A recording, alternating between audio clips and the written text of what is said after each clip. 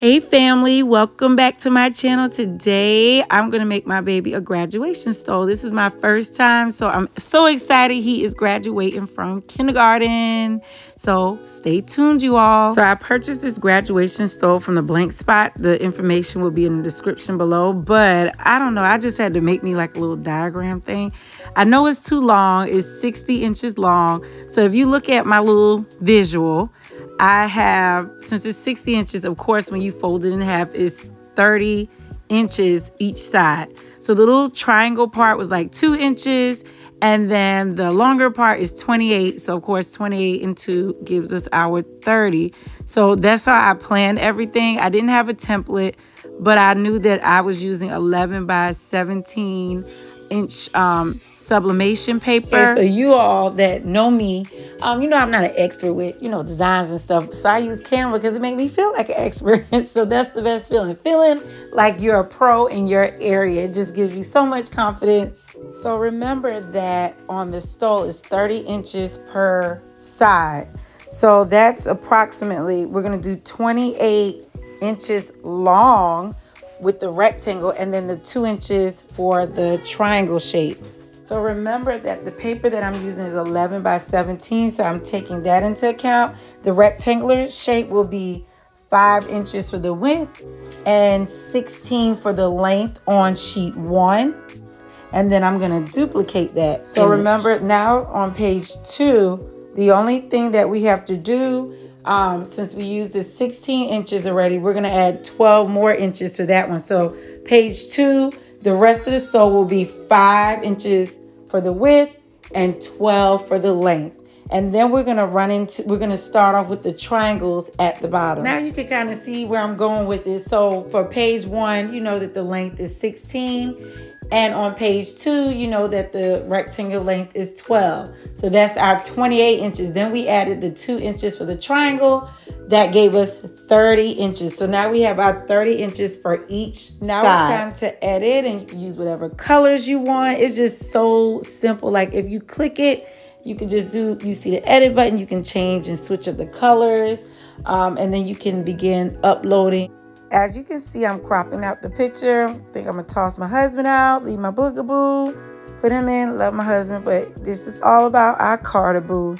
Look how cool he's trying to be. Like he the man. So we're gonna remove the background. Look how clean it does. It's just, it's just a simple program that helps me with all of my editing. Um, I haven't mastered anything else but Canva. So I think I'm going to be quiet for a while because this part is kind of self-explanatory. And you guys just edit it just the way you feel you should edit. Do your own thing and be as crafty as you can be. So just keep playing around with your images, with the positioning, as well as the sizing. Um, also, um, I also use the transparency um, button and I can edit that. And I don't try to take out too much, like maybe 80, 90 um, at that amount, you can still kind of see the pictures kind of blend into and it just it just gives it a nice little edge to your um to your stole.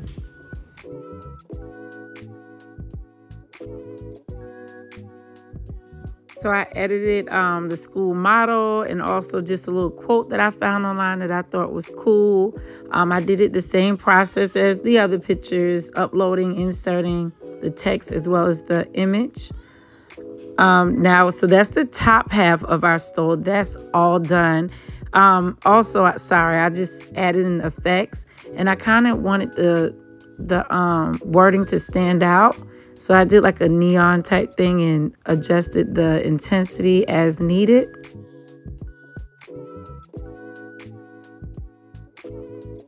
Okay, we're starting on the bottom left and right side of our stoles on page two. And again, this is free for you to do it any way you please.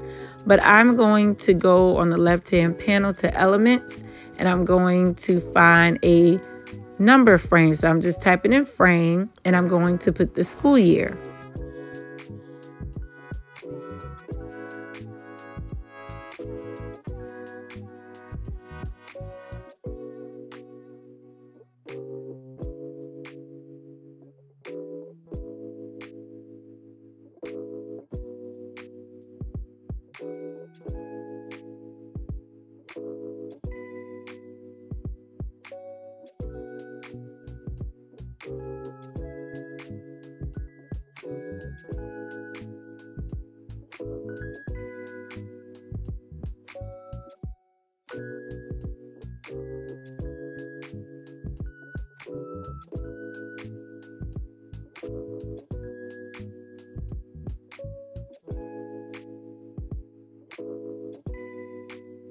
Okay, so I'm putting 2022. Um, I'm just altering everything.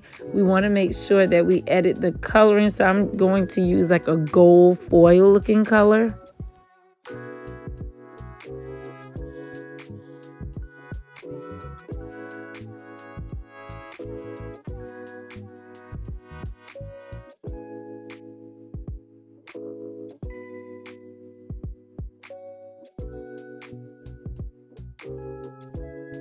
Alrighty, so we have our letters together in the position that's okay, but we're gonna try to make it tidy it up a little bit so it can be exactly in the middle and get it nice and neat.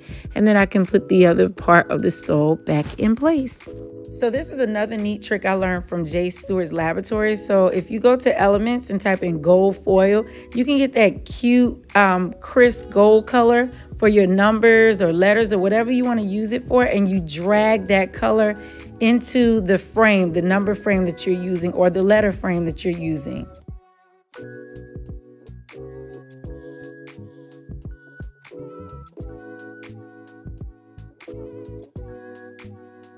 So now we're going to head over to the text feature and I'm just going to put in the text that I want. So I'm going to put class of and then I'm going to find the font that I want. I'm looking for a nice cursive font that we can use for this stole. So I'm just going to review a few and choose the one that I like the best.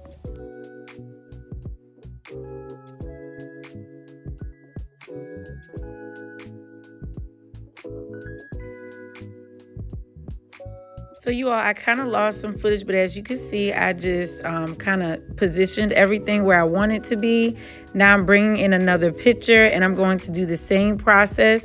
I'm gonna edit image and remove that background. And then again, you're gonna just um, edit the sizing and positioning to what you see is fit for your um, stole.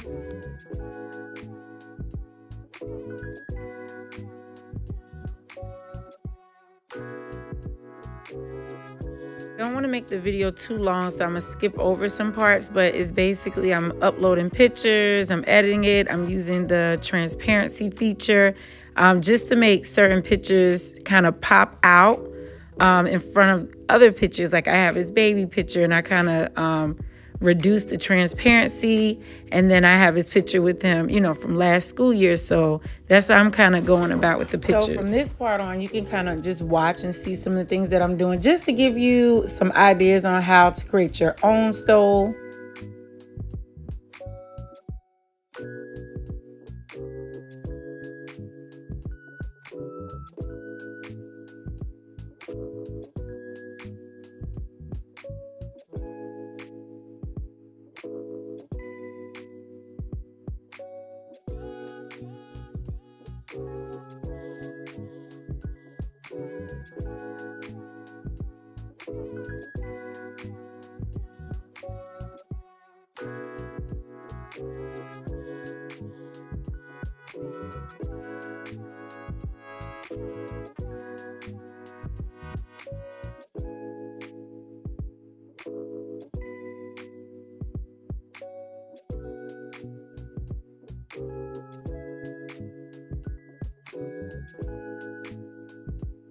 I'm pleased with how it looks overall. I'm to click the right um, button that says share and go to download. So the hardest part is over and now we just print out our images that we created. Make sure we have our stoles and use the lint brush to get any type of debris or lint off of the stole. And now I'm just cutting everything down to size and we're to tape it together with our heat tape and apply it to our stoles.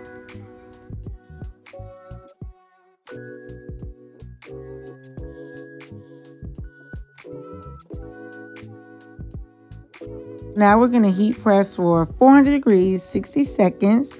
Um, there were some areas where you can see the line, a white line going through my stole. And I suggest using a ram board next time. But overall, I love the way everything turned out. And thanks for watching, you all. Happy crafting!